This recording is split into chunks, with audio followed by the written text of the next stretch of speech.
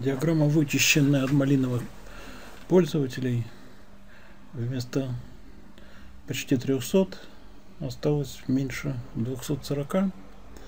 Диаграмма сильно вытянута, поэтому в коде придется уменьшить ее длину, ширину. Для того, чтобы вставить, переходим в публикацию диаграммы и интерактивную диаграмму вставляем. То есть копируем вот этот длинный код. Поскольку у меня поблизости сайта нет открытого, я блок вставлю. Я уже подготовил здесь блок. И в режиме HTML сюда вставляю длинный код, который скопировали. И здесь где-то есть очень большая его ширина, вот 1366. А вместо этого я сделаю, например, 700. Обновить.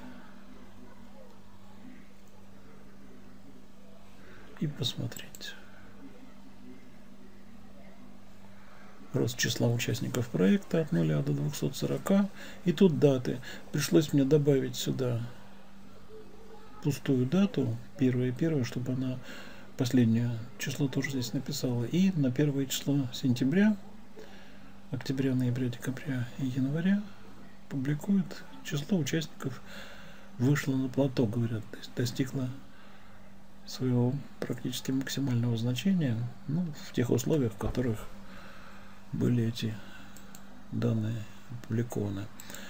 Публикация диаграммы возможно еще каким образом копировать диаграмму.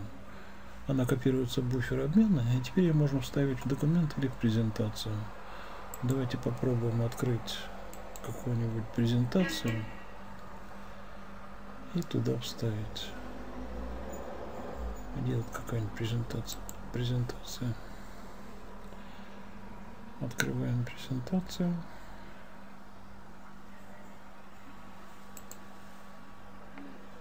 Добавляем страницу.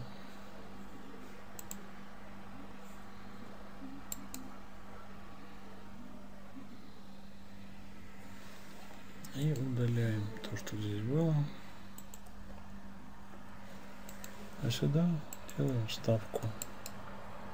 Вставить.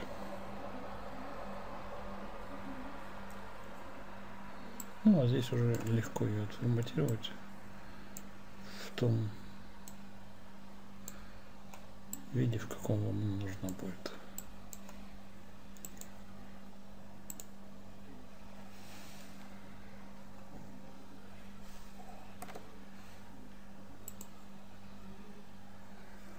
Рост числа участников проекта. Да, вот шрифт здесь у нас сжался. То есть длинный на отдельной странице это плохо. Ну, вот так.